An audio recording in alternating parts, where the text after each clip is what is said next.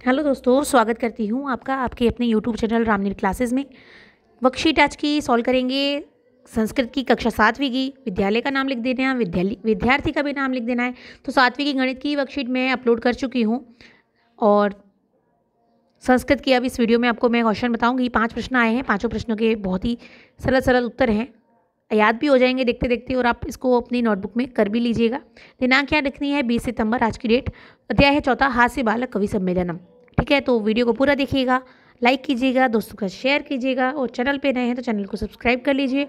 Bell icon को ज़रूर press करें जिससे अगले वीडियो की नोटिफिकेशन आपको मिल सके। देखिए क्वेश्चन नंबर एक से, कति बालक वह बंचे उपविष्टा संति? तो यहाँ पर आपको लिखना है चतवारह। क्या लिखेंगे? चतवा रह, यानी कि चार बालक। बालकों की संख्या पूछिए, कति बालक वह यानी कि चार बालक वह तो आपको लिखना है चतवारह बालक वह मंचे उपविष्टा संति। ओके, क्वेश्चन नंबर टू है, यमराज सहोदर क अस्ति। तो इसका उत्तर लिखेंगे, यमराज सहोदर वैद्यराज अस्ति। यहाँ वैद्यराज लिखना है। क्वेश्चन नंबर थर्ड है, तंदुस्य ऊपरी क हस्तम आवर्त्यति। तो यहाँ लिखना है, तंदूस ऊपरी तुंदिल हस्तम आवर्त्यति। तुंदिल, ठीक है? फिल इन द ब्लैंक्स है। क्वेश्चन नंबर चार है, क भाग का उचित ख भाग से मिलान करना है। तो यहाँ पर मैच करना है तो मैं, देखिए, ये बच्चों की तरह नहीं करना है। ये मस्तु, प्राणाम वैद्य धनानी, च, ये ऐसे नहीं करना है। आपको मैंने इसके सामने उत्तर सही से लिख के बताया है। देखिए, ये मस्तु, हरित प्राणानाम, वैद्य प्राणाम प्राणान धनानी च। परान्न दुर्लभ लोके शरीराणी पुनः पुनः और चिंता प्रज्वलिता दृष्टवा वैद्यो विस्मय आगत।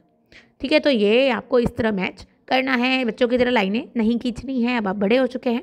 क्वेश्चन नंबर पाँच देखिए। विलोम पदानी में लेते यानी विलोम शब्द से मिलान करिए।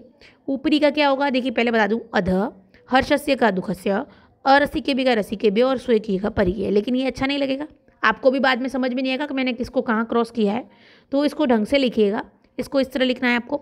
ऊपरी का अध हर्षस्य का दुखस्य रसी के भी और स्वकीयम का परकीयम तो इस प्रकार आपको विलोम शब्द लिखने हैं और ये मैच भी इस तरह ही करना है और ये बाकी तो रिक्त स्थान है। तीन क्वेश्चन में बहुत ही आसान सा देखिए होमवर्क था। दस मिनट में आपका आराम से नोटबुक में नोट कर सकते हैं, लिख सकते हैं, प्रश्न सहित उत्तर लिख देंगे दस मिनट में। तो ये बता दिए संस्कृत के पाँच प्रश्न। अगले वीडियो में मिलेंगे। तब तक वीडियो को दोस्तों के साथ शेयर कर लीजिए। चैनल को अभी तक सब्सक्राइब नहीं किया था सब्सक्राइब कर लीजिए। धन्यवाद।